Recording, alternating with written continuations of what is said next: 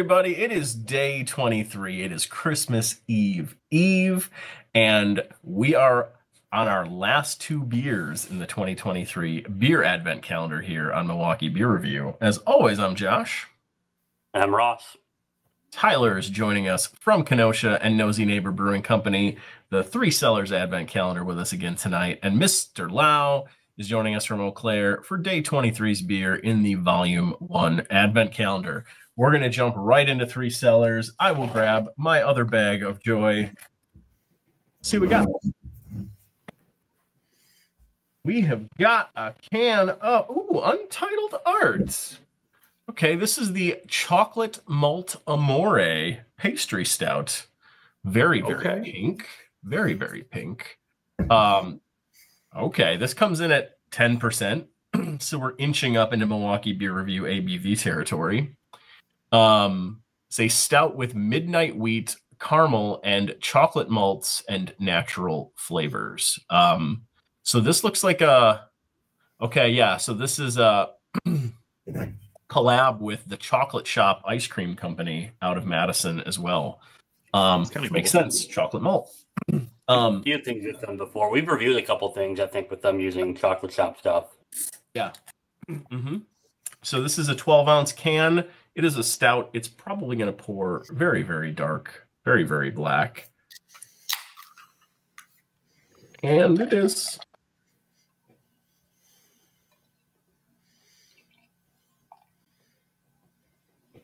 Definitely some nice mocha colored head, about finger and a half actually in this pint glass. Is that the official measuring measure measurement of? Fingers. Yeah. Yeah. Mhm. All right. It is. Um looks like a nice stout, nothing crazy. Um nice pillowy head up top, sticking around for me quite a bit. Let's get a little nose on this thing. Curious to see. Just chocolate. That is just fudgy chocolate. That's all you're getting on there. Wow, that is decadent. Just dump some ice cream in the beer. It smells like it. I mean,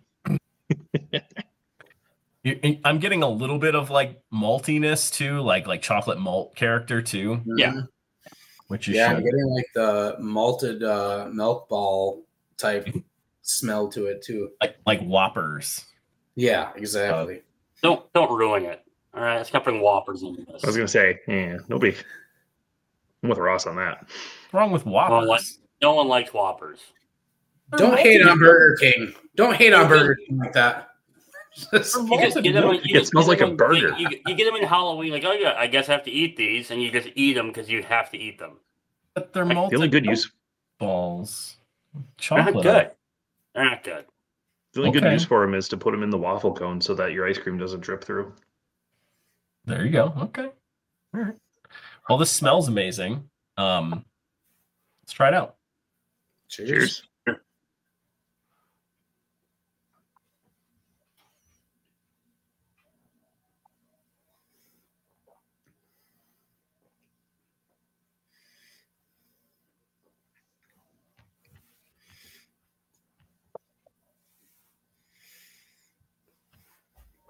So it's a sweeter chocolate. I don't, I don't know why I wasn't expecting that. I was expecting more of a decadent, kind of darker chocolate, and it's more sweet than I was expecting. Um, it's got a good chocolate flavor. It's got a nice little roastiness to it as well. Um, I think the nose tricks you a bit to what you're gonna get though. It's not. I think the palate in the nose to me is off. It doesn't taste the same way it is on the nose. Okay. For me, the uh, the chocolate almost has more of like a bitter kind of almost a dark like cocoa vibe to it. It's not as fudgy sweet in my I mean there's sweetness, but the cocoa flavor itself it kind of finishes a little bit more of like a dark cocoa vibe. Almost has on the palate even a little powdery kind of grittiness to it Hmm. in my opinion. Um, it's not overly thick and and fudgy. It's got a little more thin carbonation vibe to it. Hmm. Um, it, I mean, it's not thin like it's a light beer. Don't get me wrong, but like from like Ross said, from the nose, you would expect a certain level, and I would say it's maybe just below that. And there's like a, a bitter finish to it. I think it's a combination between the cocoa and maybe even just the hop level, like the bitterness of the base beer. Um, it doesn't leave a lot of residual sweetness to it. It kind of has a bitter finish on it, I guess. Yeah, I think Hmm. both of your comments are are are pretty dead on. Um it definitely has a lighter body than you expect. Like a beer like this, you're expecting a certain level of viscosity, and it's not there. It's a little bit thinner.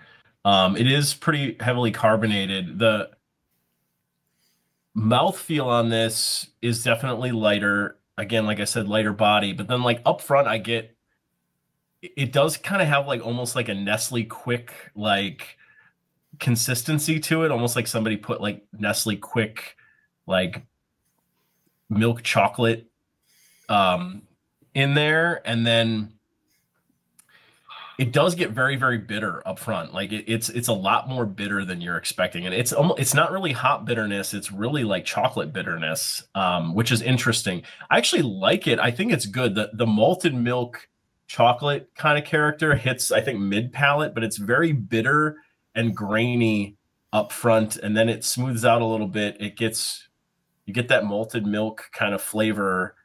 As it sits here it finishes like like nesquik chocolate to me like Nes Nesquik chocolate. Um Hmm. it's interesting. Um i think we tried a similar beer to this their na version last january when we did our na episode and i remember it tasting similar to this although even thinner um so i guess that chocolate note's not as surprising to me but i think i'm less impressed with it just because it doesn't have that pop that I was expecting from the nose. That's spot on. I really do. I think that I think it knows fools you a bit what you're about to get. Hmm. So Doesn't mean it's All right. bad. It's just not great. Um, okay. I will start. I'm gonna go.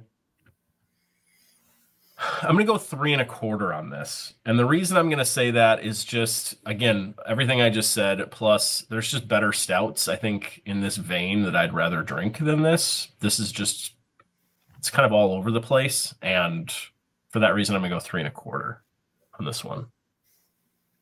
Uh Ross, how about you? I'm actually in the same boat as you, three and a quarter.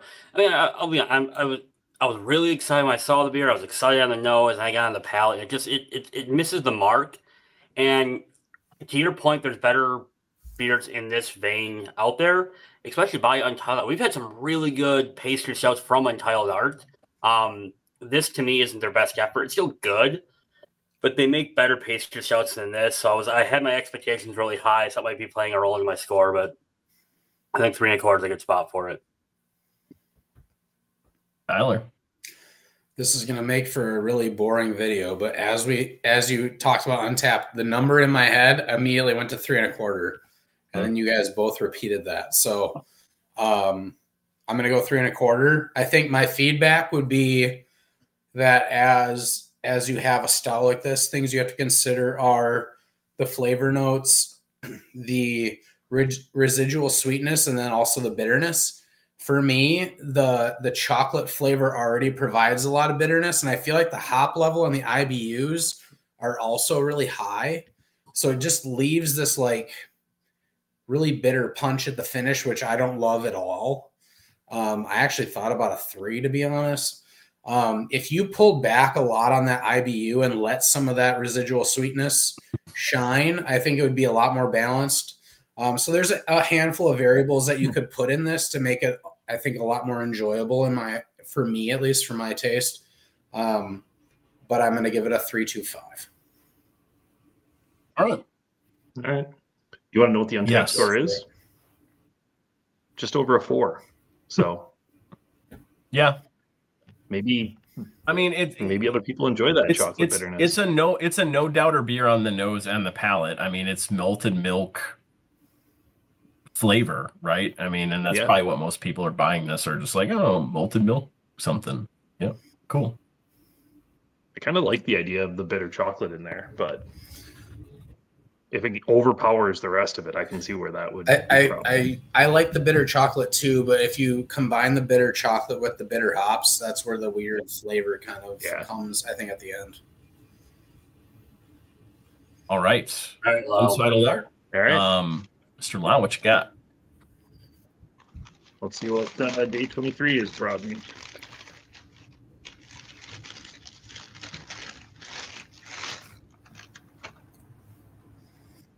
Oh boy, Lake Louie Brewing, Oh, okay.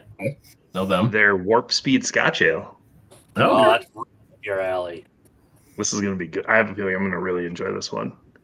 6.9% alcohol by volume. Full bodied, subtle sweetness with a smooth finish. I Am I wrong that Lake Louie Brewing rebranded this year? They used to be called something else, and then they switched to Lake Louie Brewing, or are they always Lake Louie Brewing? I think they They've always. been, they've been Lake Louie for a while. Okay, I'm an idiot. I don't know if I've had anything from them before.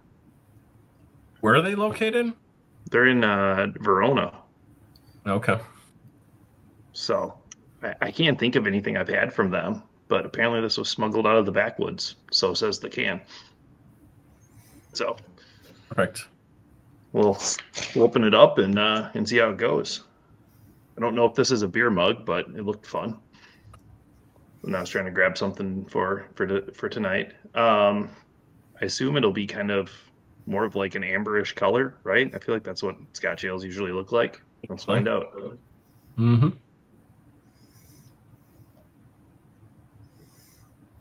Nice, yeah, nice amber color. I'm gonna pour. I'm gonna get it, get it to climb up that glass. Nice Ross pour. Nice Ross pour. Get the get the Packer logos covered up there to shine. 40, 40 Um, minutes from now when you can actually drink that. Oh yeah, it's gonna be it's gonna be all right. Shut up. We gotta filter. We gotta get these episodes up to that 19 minutes somehow. This Um, one will be. there's there's a decent amount of bubbles in there on the bottom. Can- They're all kind of sitting me- there. can you measure the head and fingers, please? Looks like we got we got we got a nice three three finger All three right. finger head on this on this pour. Mhm. So that's that's ideal. But yeah, nice nice uh kind of amberish kind of color there with a decent amount of bubbles. Let's see what it the nose is.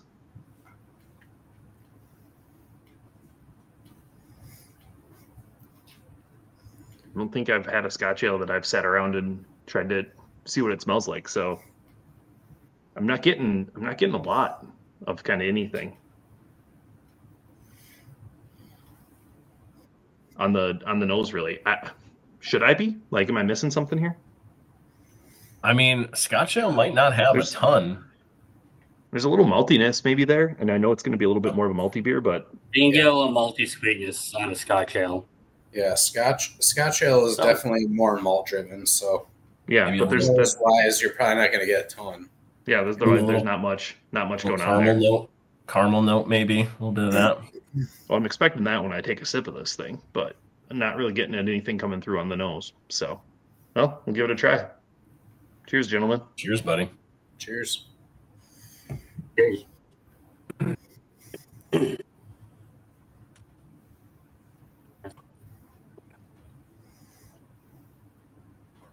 mm, yep that's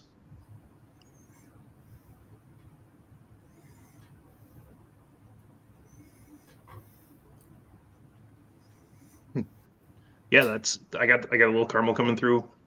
Kind of similar to sort of what you guys were expecting. I thought it almost feels a little bit like the it almost feels a little thinned out for what i was kind of anticipating. Not that like scotch ales are thick but it's kind of like the flavor i feel like usually they maybe have a little bit of a different mouthfeel because there's kind of a lot of flavor coming through from the malts. And this one's more subtle on the flavor side of things and it's fairly like fairly well carbonated. I can still see all the bubbles sitting on the bottom of the glass here. Maybe they actually added water from Lake Louie after it fermented out. Maybe, maybe they fermented it out and it came in at like 10% and they had to cut it down. Could be. Um, but the, the flavors are, are pretty subtle. It, it is like for 6.9% alcohol beer, it is like very easy to drink. Like you do not get that level of of ABV on on this on this at all.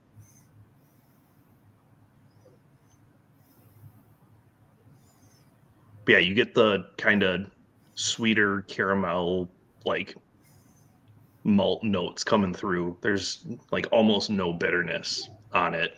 Um but yeah, I guess overall I was expecting maybe a little bit more of a bigger flavor coming through from it, right? Like those flavors to stand out a little bit more. Um, I feel like it's maybe a little bit muted compared to some of the other Scotch ales I've had. It's still a good. It's still. I'm still enjoying it, and it's definitely something you could easily easily drink and not really realize that you were getting a you know seven percent beer. That's good. Okay. So so you are 23 beers in. Where does this thing stand? I am. Not. Um, I would say for Untappd, I'm probably going. I don't know, three and a half. Like it's. I think it's. I think it's. I think it's well done. It's just. I guess I was hoping for maybe a little bit more of a, more of a flavorful kind of palette on that when I think of kind of some of the Scotch ales I've had before. Makes sense. Okay. Well, um, two more Wisconsin breweries on the channel. Got Untitled Art and Lake Louie. Mm-hmm. Um, we are almost done, folks. Tomorrow is Christmas Eve. It is going to be our last episode. Holy crap. This is the third year in a row we've done this. That is 72 episodes of just advent calendar beers on the channel once we get through tomorrow. So don't you get to like put is, them up on like the video somewhere and be like, other people click on these other videos and watch more of our stuff. Yeah, I, I should probably be better at doing that, to be honest. Uh, tell us in the comments if you would click on them if I put them in here the end of the episode. Um, let us know.